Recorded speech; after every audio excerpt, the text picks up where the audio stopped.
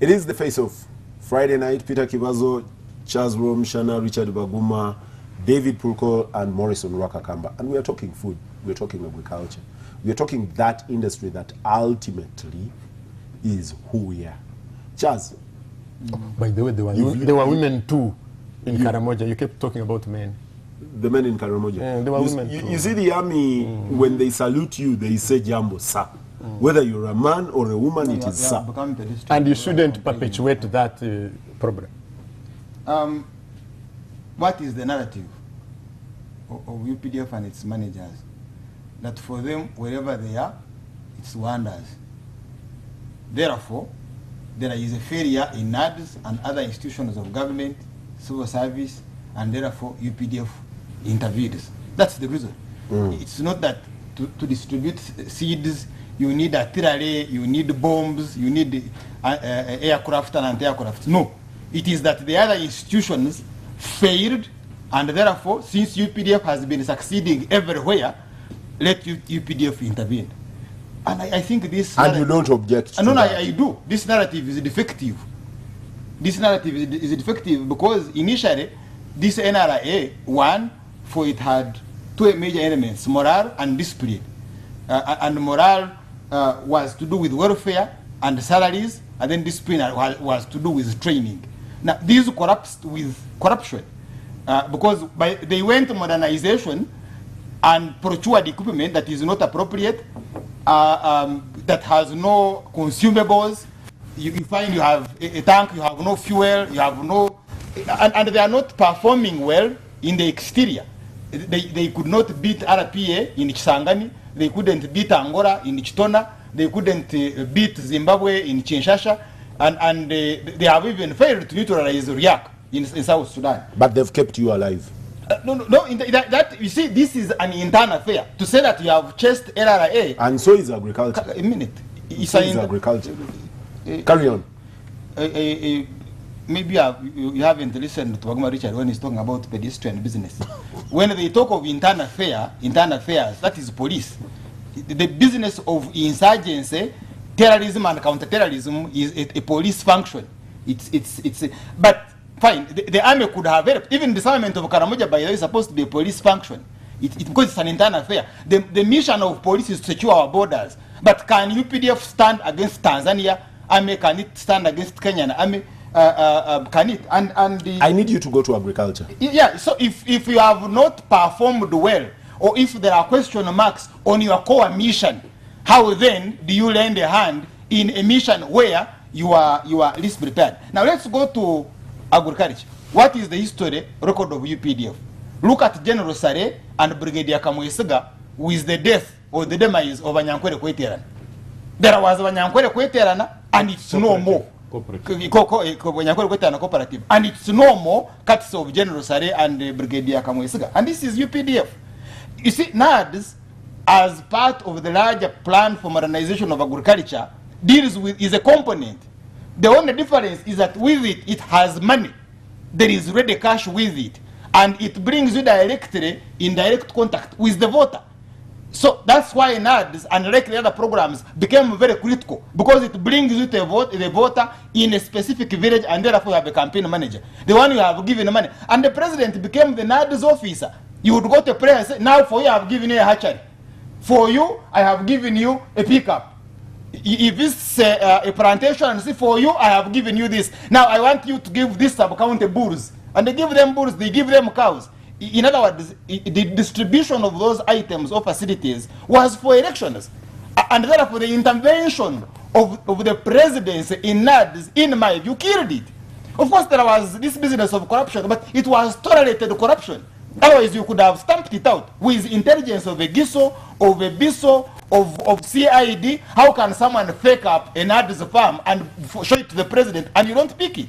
This information is available. Now, whenever he got it, what did he do before he banned, before he, he, he- bans? Now, then we got technologies. These are complicated technologies. And in my view, they have also had a side effect because they are killing indigenous seeds. So in the long run, you will have, because like my late mother used to keep seeds from harvest for, for the subsequent uh, season. Now, now it's no longer there. It means that in the next season you will have to go and buy. and because they have killed our indigenous seeds. And it means that the voter, the peasant, is going to be vulnerable to the seed supply.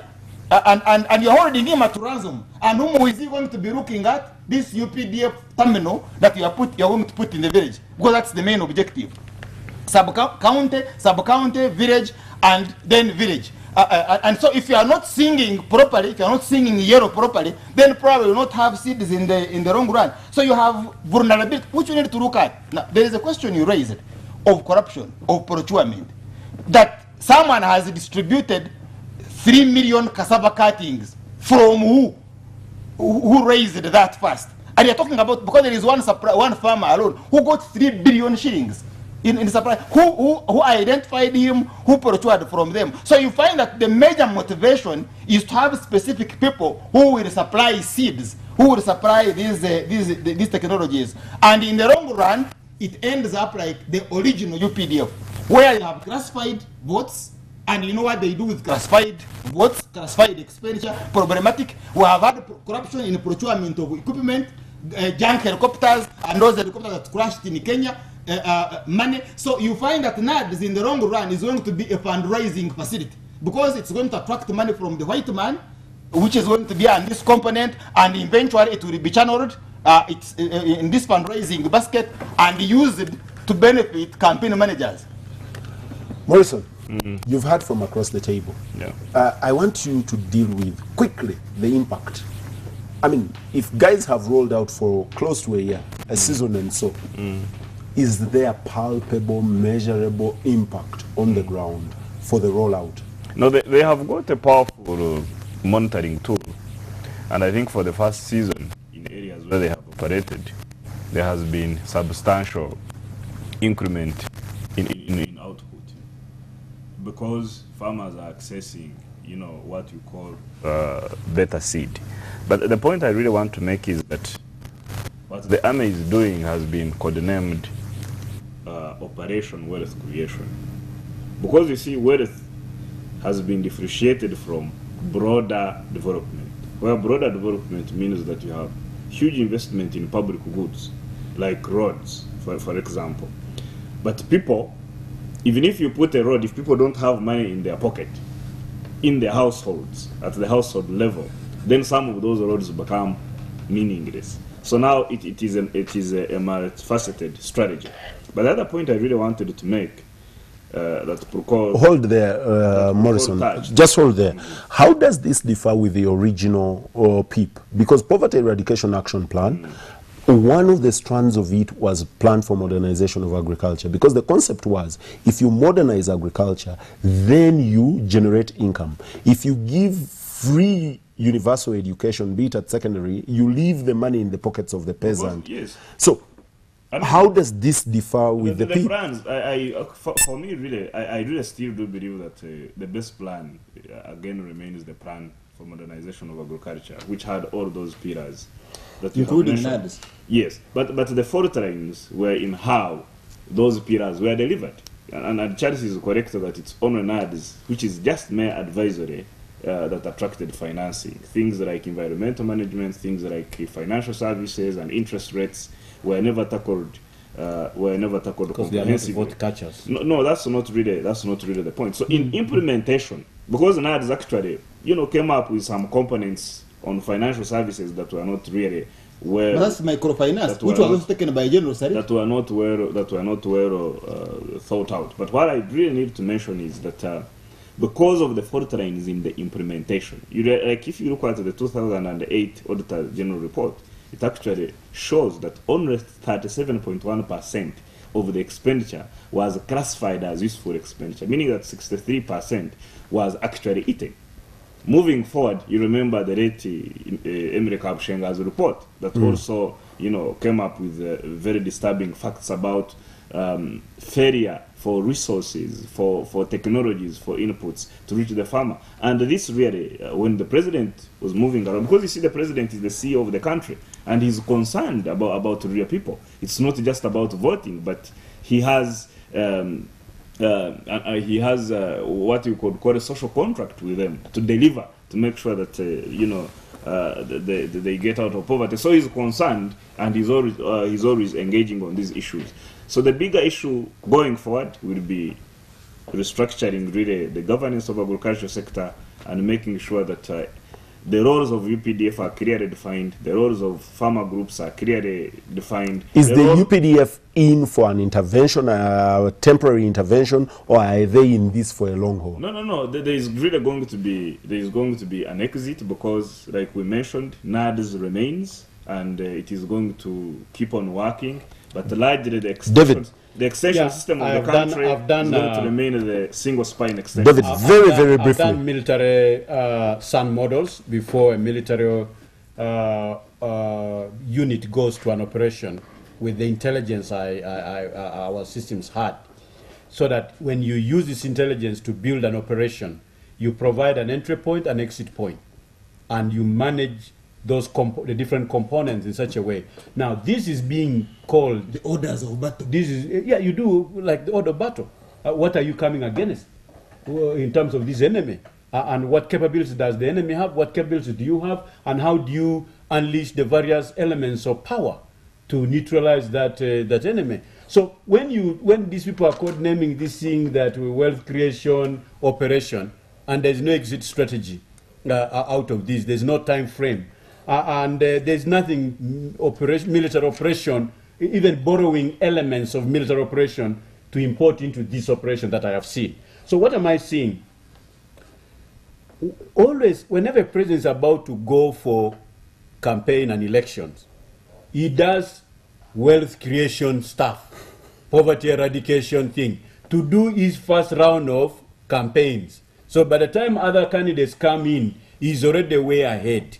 Now, this is exactly what Rwomushana is saying that the president, by putting military men there, uh, is creating vote handlers so that votes, voters are, are tied to these pegs of the military officers. They become voter handlers for him. And therefore, and if you don't sing properly, if you don't put on that yellow shirt, if you don't, so you lose out. So again, because if it was truly, if it was truly to, to help the farmer, then you would have recreated the multipurpose corporate society which deal with transportation, production, input supplies, you know, uh, credit, uh, and so forth. Then Thank you'd you. I'll- I'll hold you there, David. bank. Now you want Richard. UPDF boys to do Richard, this farming? Richard, Yes. the things David is talking about are fundamentally the things that make agriculture. He's talking about storage, strategy. marketing, Yes. uh, transportation, Uh, preservation. I preservation, about them. inputs, Yes, I talked about those. and uh, Yeah, financing. And that is yes. And that Where are they? I'm saying David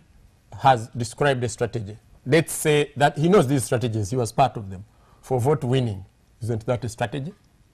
But it So might not not, be. It might farmer, not be. It might not be a strategy that is as talked about. Maybe that is the strategy as he knows it, and probably he has a point. For me, I think I would like to end by trying to sanitize as as I try to.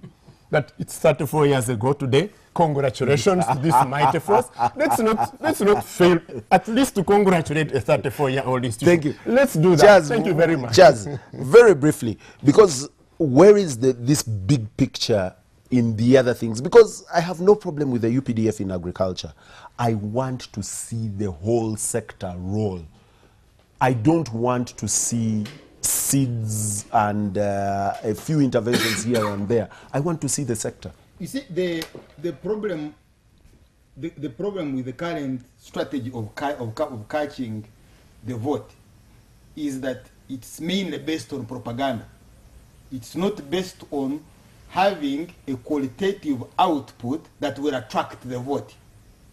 That's why basically the problem is. Let me understand that. that that you don't do the job and do it well To to the get farmer. the vote. Mm. In other words, But the quantities I have here that have been distributed. talking about quality. Yes, you see, those who have benefited from NADS directly are campaign managers. And, and, and I don't find a big problem with that. But if you are talking about wealth creation, then you have a problem because you are creating a huge mass of people that will be critical. So you, you, you use the word, I'm going to chase away poverty. Chaz, to relax- Chaz, hold on Let there. Hold on, hold hold hold hold I need to take you back to a bit of economics school.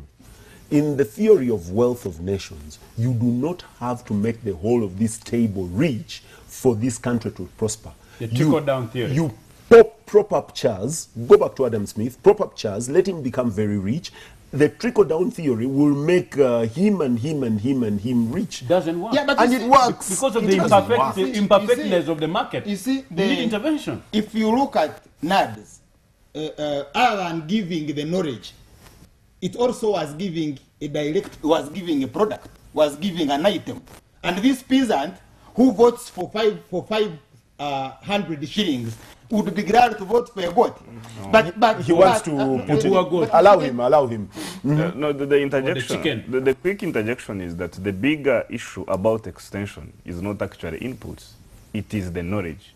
It is the technical knowledge that goes to the Th farmer that's what is to, be, to to be be. leveraged, to be harnessed in order to create That's wealth. what is and there is and actually there is actually no there is a discussion of moving from actually free inputs to corre- public corrective in, inputs. But we know like that the most fertilizer advisory services have demonstration part of Can- them. I- opening And community we've access, killed the opening community demonstrations. access roads, and- The military dams. Yes, the government of Uganda officers is selling the land. I am not Yes, sure that that yes, has Charles. been killed because military officers. y- you are Charles. saying that uh, demonstrations must be done She on was the public property. farm of the army. That's what you are saying. like the prison So farm of the if, police if farm. you are Doesn't have to talking about if you are talking about qualitative intervention, Hmm. then NAADS would be giving knowledge. It would give knowledge. Which was its mandate? which was but you see giving knowledge doesn't benefit the politician because the peasant doesn't quickly appreciate that but when you give a cow it doesn't matter why the fellow knows how to hand a cow he has seen a cow he will sell it Chicken, uh, he has seen chicken he will sell it he will sell chicken he has seen seeds he will he will cook them and he will give you the vote because in it there was money and this is now If that peasant is actually taught to handle these and receive them, what is the problem? Yeah, but you see, they have Not not, done that. period. You see, you see, NAADS was supposed to give knowledge, give technologies, and give knowledge. Politicized. Because you see, if Rwakakamba doesn't know how to look after rabbits, giving him rabbits, you see, like now they are giving seeds. Whether, whether there, where there are gardens, where there is rain or what, they just give you seeds.